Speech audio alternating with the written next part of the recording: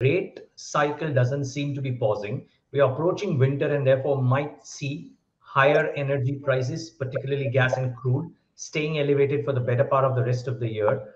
Um, so these two factors combined by themselves and, and quantitative tightening. Um, not to forget that the geopolitical mess that we are in isn't run isn't showing signs of running away as well. Does yeah. it mean that markets ideally from a valuation perspective and the fact that we are not in a Goldilocks, Goldilocks scenario should pull back a little bit? You think that's what will happen or I, no? I think to a certain extent, as I've often said on your show, uh, much will depend on the performance of the dollar. I continue to believe that emerging markets have held up relatively well this year. In fact, I thought they might even hold up a little bit better than they've done, but they are underperforming developed markets. Uh, but only by about 200 basis points this year, which is frankly not bad. And that's uh, been despite this very, very strong dollar. So I think what's going to drive this immediately um, over the next several months is going to be the performance of the dollar and to a certain extent, of course, the performance of China. Uh, perhaps I can come on to China in a moment, but the, the, the, the Fed's policy here, plus the terrible economic and inflation situation in Europe, which is much worse than in the US as far as I'm concerned, is going to keep the dollar strong. I'm not sure it goes a lot stronger, but it's going to stay strong. And that's going to keep some pressure on emerging market currencies.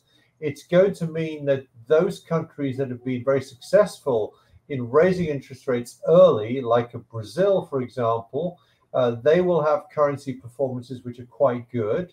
Um, India, of course, is finally getting around to raising interest rates, and that's good. And and in fact, real interest rates in, in India are negative, but they're nothing like as negative as they are in a number of other countries. So I don't see the Indian rupee being that weak at the moment. I know it's gone down, but it's in no sense in a crisis.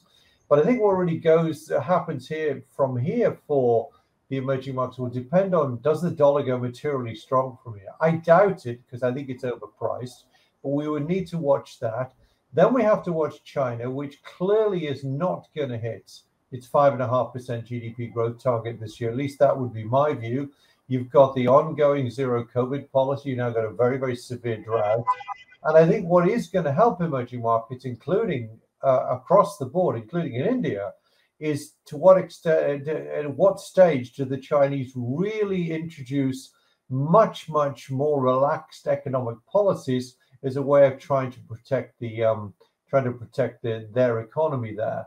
And, and then finally, of course, there's always geopolitics. We've got to keep our eye, unfortunately, on this uh, on this uh, war, um, uh, you know, this Russian war against Ukraine, and what impact that could have on gas prices, oil prices, which I think do stay really reasonably high, um, and what impact that will have on the global economy. And I suppose we also have to keep half an eye on the Taiwan China situation also. But I, I wouldn't be too bearish about equities generally.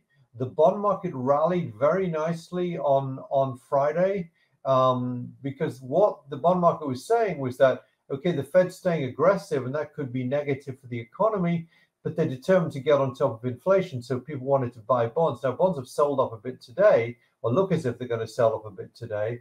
But as long as the bond market stays under control and the dollar does not rally too much, I don't see that this is going to lead to another big equity sell off. And in that environment, I think emerging markets will hold up reasonably well, even though I don't think we're going to get a big rally anytime soon.